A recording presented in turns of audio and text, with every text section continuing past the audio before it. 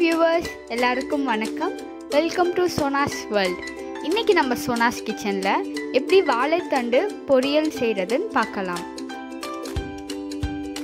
தேவையான பொருட்கள் கடலெண்ணெய் வாழைத்தண்டு தேங்காய் ஆனியன் கருவேப்பிலை பச்சை மிளகாய் பாசிப்பருப்பு உப்பு மஞ்சத்தூள்.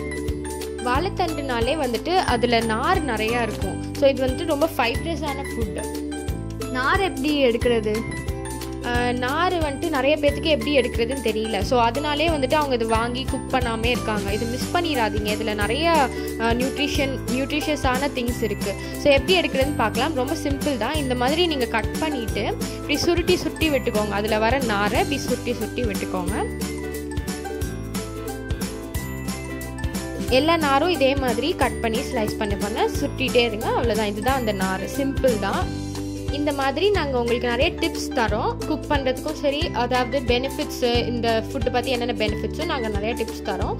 ஸோ நீங்கள் வந்துட்டு எங்களோட சேனலை மறக்காமல் சப்ஸ்கிரைப் பண்ணிடுங்க அதே மாதிரி உங்களுக்கு ஸ்கிப் பண்ணாமல் கடைசி வரைக்கும் பாருங்கள் அப்போ நிறைய டிப்ஸ் கிடைக்கும் உங்களுக்கு.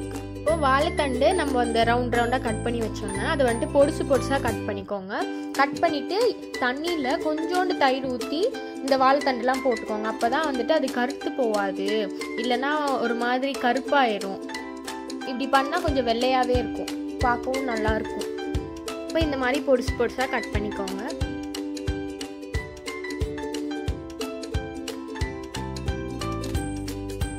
இப்போ நம்ம எப்படி பண்ணுறதுன்னு பார்க்கலாம்.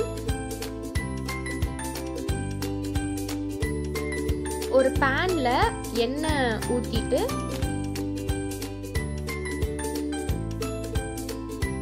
எண்ணெய் காஞ்சோன்னே ரெண்டு ஸ்பூன் கடுகும் உளுத்தம்பருப்பும் அதில் சேர்த்துக்கோங்க.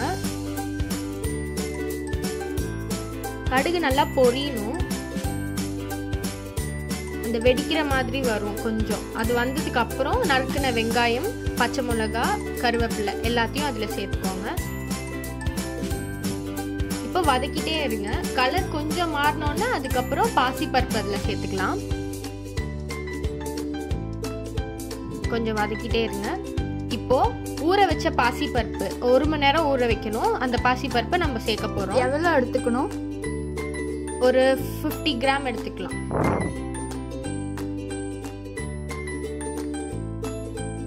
இப்போ நம்ம சேர்த்தாச்சு. வதக்கிக்கிட்டே இருங்க. இதில் வந்துட்டு நீங்கள் இப்போ வதக்குறப்போ ஒரு ஃபிஃப்டி பர்சன்ட் வெந்துடும் அதுக்கப்புறம் நீங்கள் வாழைத்தண்டு போட்டதுக்கப்புறம் அது ஒரு ஃபிஃப்டி பர்சன்ட் வெந்துடும் வாழைத்தண்டு வந்துட்டு நல்லதுன்னு சொல்லி நிறைய பேர் சொல்லி கேட்டிருக்கேன். அது எதுக்கு யூஸ் ஆகும்?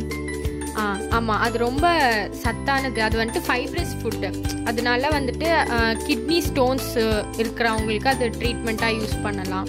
அதே மாதிரி டைஜஷன் ப்ராப்ளம்ஸ்க்கு ரொம்ப எஃபெக்டிவாக இருக்கும். அப்புறம் வெயிட் லாஸ்க்கு ஏன்னா வெயிட் லாஸ்ன்னு சொல்லும் போது கெட்ட கொழுப்பு எல்லாம் வந்துட்டு கரையும். அதனால வந்துட்டு டீடாக்சிஃபிகேஷன்னு சொல்லுவாங்க.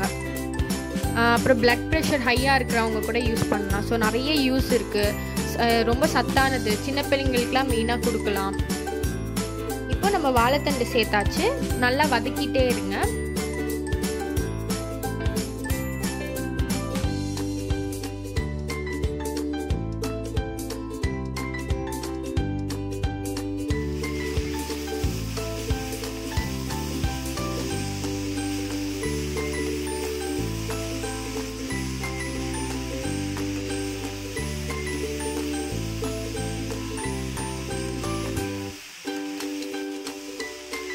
இப்போ மஞ்சத்தூள் சேர்த்துக்கலாம். நீங்கள் வந்துட்டு உங்களுக்கு வேணும்னா சேர்த்துக்கலாம் மஞ்சத்தூள்.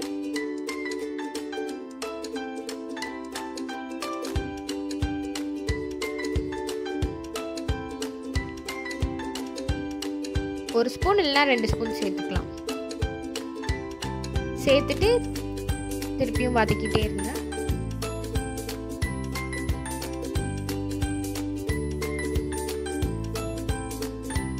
தேவையான அளவு உப்பு சேர்த்துக்கோங்க. நல்லா வதக்கி விட்டுட்டு தேங்காய் துருவினதை சேர்த்துக்கோங்க. நாங்கள் வந்துட்டு துருவாமல் தேங்காய் கீறினதை பார்த்துருப்பீங்க. ஸோ கீறிட்டு நாங்கள் ஒரு மிக்சியில் ஒரு அடி அடிச்சுட்டு அதை நாங்கள் சேர்த்துருக்கோம். அதை நல்லா கிண்டி விட்டுருங்க. அவ்வளோதான் இப்போ வாழைத்தண்டு ரெடி நீங்கள் உங்களுக்கு இது பிடிச்சிருந்துச்சுன்னா கமெண்ட் பண்ணுங்கள் நீங்களும் வீட்டில் செஞ்சு பார்த்துட்டு எப்படி இருக்குன்னு சொல்லுங்கள் உங்களுக்கு இந்த வீடியோ பிடிச்சிருந்துச்சுன்னா லைக் பண்ணுங்கள் ஷேர் பண்ணுங்கள் கமெண்ட் பண்ணுங்கள் சப்ஸ்கிரைப் பண்ணுங்கள் மறக்காமல் பெல் பட்டனை கிளிக் பண்ணுங்கள் தேங்க்ஸ் ஃபார் வாட்சிங் சோனாஸ் வேர்ல்ட்